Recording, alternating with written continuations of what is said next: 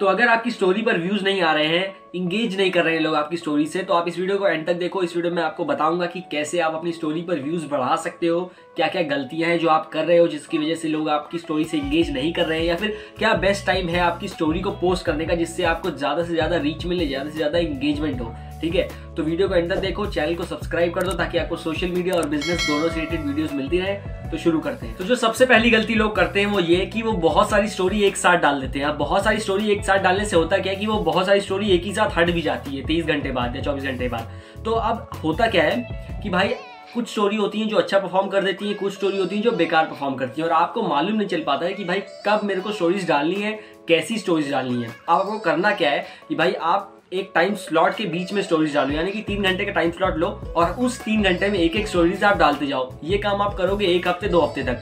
यानी कि आप यहाँ पर टेस्टिंग कर रहे हो। आप अलग अलग टाइप की स्टोरीज डालो तीन तीन घंटे के इंटरवल में, यानी कि नौ बजे डाली, फिर बारह बजे डाली, फिर ऐसे करके आपने तीन तीन घंटे या दो घंटे के इंटरवल में आपने स्टोरीज डाल दी। आप ये काम एक हफ़्ते, दो हफ़्ते तक करोगे और उसके बाद आप इस चीज़ को मेजर करते रहना कि आपकी कौन सी स्टोरी अच्छा परफॉर्म कर रही है, कहाँ पर लोग ज़्यादा इंगेज कर रहे हैं। ठीक है, आप अलग अलग टाइप की स्टोरीज लगाओ पोल लगाओ क्वेश्चन आंसर लगाओ लोगों से चीज़ें पूछो। ठीक है, ये सही काम करो अलग अलग टाइप की स्टोरीज डालो। उससे आपको पता चलेगा एक दो हफ़्ते में आपको मालूम चल जाएगा आपके एनालिटिक्स से कि किस चीज़ पर ज़्यादा व्यूज़ आ रहे हैं, कहाँ पर लोग इंगेज कर रहे हैं और किस टाइम में, कौन सा टाइम स्लॉट आपके लिए बेहतर है? या सुबह वाला टाइम स्लॉट बेहतर है या फिर रात में आपको अच्छे लोग व्यूज़ दे रहे हैं इंगेज कर रहे हैं तो आपको ये चीज़ करनी है। ये गलती मत करना कि सारी स्टोरी एक साथ डाल दो, ठीक है? ये नहीं करना है आपको।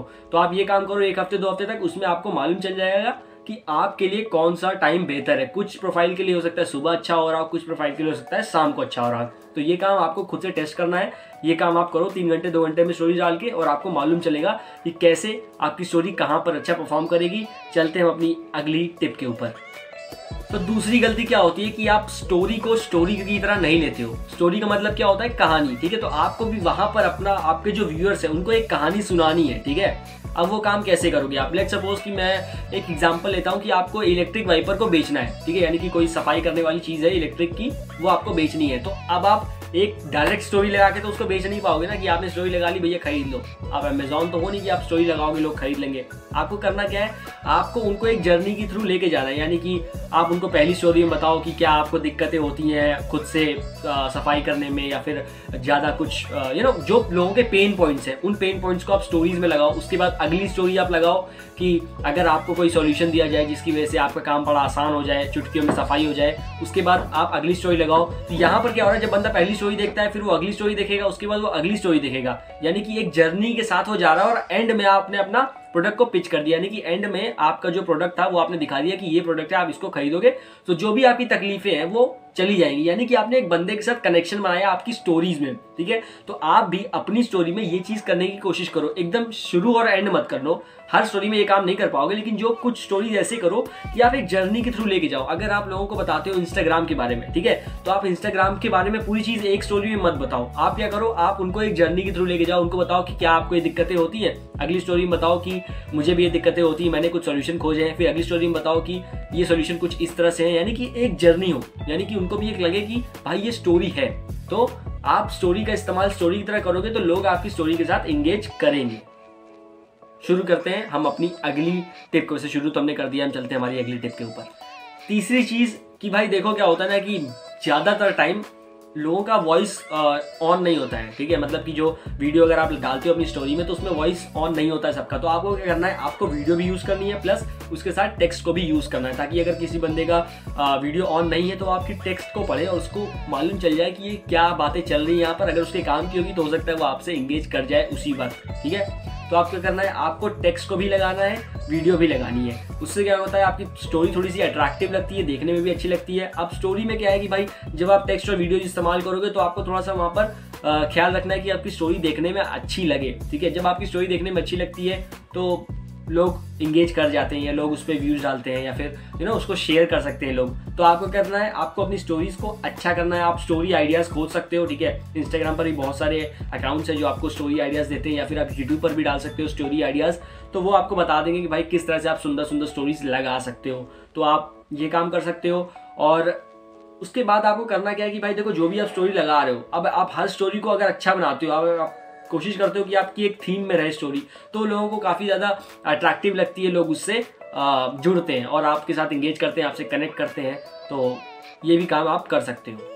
चौथी चीज़, कि आपकी स्टोरी में सीटीए ही नहीं होता है। कुछ बहुत सारे अकाउंट की मैंने स्टोरी में देखा है कि वहाँ पर कॉल टू एक्शन होता ही नहीं है। अगर बंदे ने स्टोरी देख भी ली तो वो क्या करेगा? उसको क्या करना चाहिए? आपको बताना पड़ेगा। जैसे मैं इस वीडियो की शुरू में मैंने बताया कि आप इस चैनल को सब्सक्राइब कर दो, वीडियो को एंड तक देखना। ये एक तरीके से मैं कॉल टू एक्शन दे रहा हूँ आपको कि भैया, वीडियो को एंड तक देखो, सब्सक्राइब कर दो। This is call to action कि आपको करना क्या है इस वीडियो को देख के। बहुत सारे लोग होंगे जो वीडियो को देख के चले जाएँगे कहीं और। बहुत सारे लोग होंगे जो वीडियो को देख करके सब्सक्राइब करेंगे।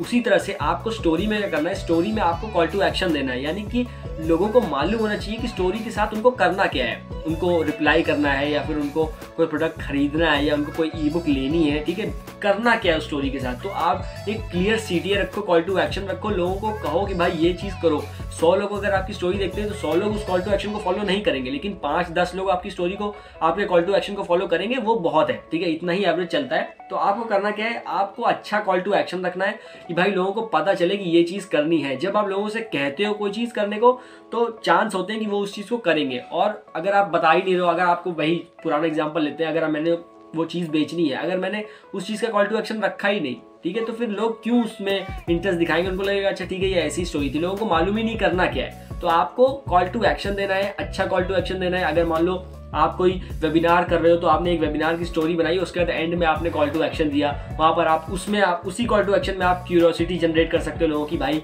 कि अभी ये फ्री है, आगे जाके पेड हो जाएगा। एक एग्ज़ाम्पल दे रहा हूँ मैं। तो आप इस तरह से कॉल टू एक्शन करो, लोगों से कहो कि वो एक्शन ले उस चीज़ पर।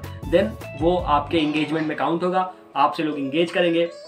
आप लोगों से क्वेश्चंस पूछो क्वेश्चंस का जवाब दो, इस तरह से आप लोगों से इंगेज कर सकते हो। अब देखो स्टोरी में एक क्या होता है कि जब आप पोल्स का इस्तेमाल करते हो, आप जब पोल्स का इस्तेमाल करते हो तो वो लोगों को इस्तेमाल करने में बड़ा अच्छा लगता है। मतलब ये पोल पे रिप्लाई करना तो आप देखो, अपनी स्टोरी में जब आप पोल लगाओगे तो यूजुअल जो आपका यूजुअल व्यूज़ पड़ते हैं, उससे ज़्यादा व्यूज़ पड़ेंगे आपकी पोल वाली स्टोरी पे।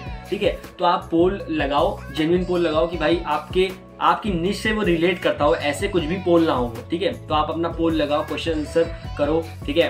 अच्छे स्टिकर्स यूज़ करो, इससे क्या होता है, थोड़ा सा अच्छा लगता है प्रोफ़ाइल और लोग आपसे इंगेज करते हैं। तो ये थे हमारे कुछ तरीके जिससे आप अपनी स्टोरी पर व्यूज़ ला सकते हो, लोगों से इंगेज कर सकते हो। अगर कोई चीज़ नहीं समझ में आई है तो आप नीचे कमेंट सेक्शन में बताओ, या फिर मुझे इंस्टाग्राम पर डीएम कर सकते हो। मैं वहाँ पर आपके क्वेश्चंस का जवाब दे दूँगा। बाकी तब तक आप ये दोनों वीडियोस देख सकते हो और चैनल को सब्सक्राइब कर दो यार।